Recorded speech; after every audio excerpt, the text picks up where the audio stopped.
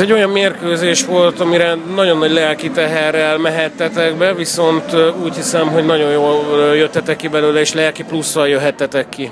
Hát abszolút lelki plusz, az becsületért ment ez az egész, azért, hogy azért, hogy a mi játékunk csiszolódjon, a, a lelki erőnk az helyre jöjjön, a önbizalmunk az helyre jön, és azt gondolom, hogy mindenkinek ez helyre jött, és a, lövő, a lövőkészségünk az, az prima volt, a lövő százalékunk kiváló, úgyhogy bravo fiúk, én ennyit tudok mondani, meg annyit, hogy, hogy nem szabad, tehát nem szabad egy válogatottat egy egy, én azt gondolom, hogy ötödik lenni a világon, ha ezt megszerezzük, semmi szégyenkezni való nincs senkinek.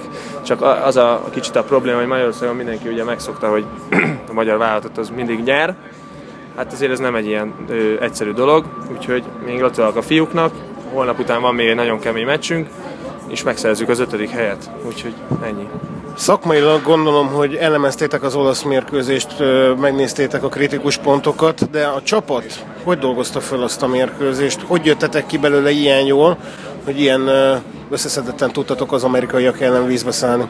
Hát, hogy hogy jöttünk ki belőle, az csak a, azt gondolom, hogy a baráti viszonynak tudható be a, a csapaton belül. Mert ha ez egy nem egy baráti társaság, hanem ez egy, ez egy csak összerakott dolog lenne, akkor mindenki szitta volna mindenkinek az édesanyját, és szétesett volna a csapat, de hát nem így történt, hanem mindenki barátként megbeszélt, hogy mibe hibázott, ki mibe hibázott, ki mibe tud lelki pluszt adni, és gyakorlatilag azt gondolom, hogy most nagyon-nagyon magabiztosan megvertük Amerikát, amihez ugye azért gratulálni kell, mert egy nagyon jó csapat, ahogy láttuk, nagyon jó lövőkkel, úgyhogy bravo.